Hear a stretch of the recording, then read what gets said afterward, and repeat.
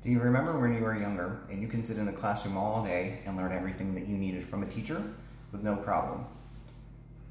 Think about the last training that you were in or the last educational experience you had as an adult. If you're anything like me, I bet after the first 15 minutes you figured that you got everything you needed out of the conversation, you were done, and you checked out for the rest of the conversation. The great news is, it may not have been your fault. Adult learners learn in a manner that is quite different than children. What we're going to discuss today are some topics of value to the adult learner. The first of them being immediate, immediate implementation.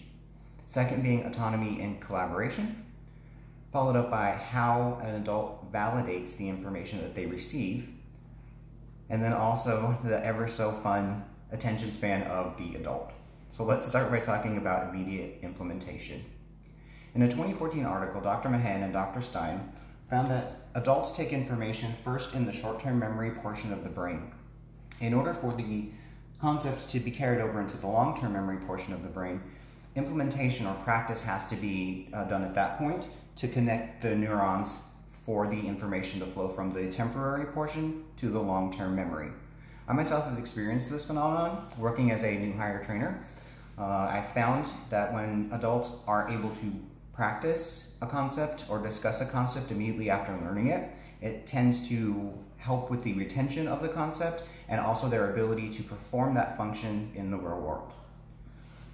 Now that we've talked about immediate uh, implementation, let's talk about autonomy and collaboration. Parkesh Sharma and Avandi found that first engaging adult learners in discussion and debate about the topic tends to uh, pique interest of the adult in learning the topic itself.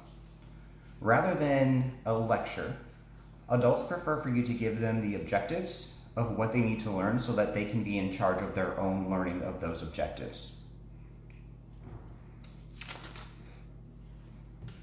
We can see here in this learning pyramid from the National Training Laboratories that lecture only accounts for about 5% of the retention rate of the adult learner.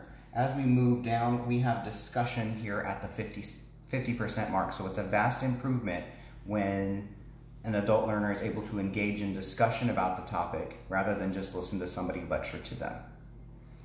So we've learned about that concept. The next one is going to be how adults validate the information they receive. Unlike school-age children, adults have some personal beliefs and have some experiences, and sometimes those beliefs and experiences can make learning new concepts difficult to them. They, they're in defiance of learning the new concepts. Adults will also decide what concepts you're giving them are of value to them personally and what they can actually use for immediately immediate implementation or immediate usefulness based off of the information that you're providing them. And that's what they'll accept and that's what they'll remember. The last thing that we'll talk about is the attention span of an adult learner. There's a lot of uh, funny things out there on the internet that are comparing the adult attention span to the attention span of a goldfish, with the indication that the goldfish can pay attention longer than the adult. I'm not sure how you measure the, atten- the attentiveness of a goldfish, but I have had quite a bit of experience with the attentiveness of adults. In a 2015 article, um, said that adults can only focus for up to 10 minutes at a time.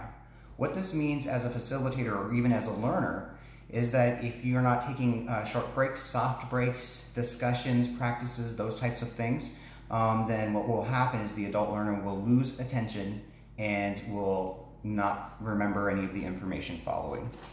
So again, we can see how the values of immediate implementation of new information, how adults value autonomy and collaboration when learning.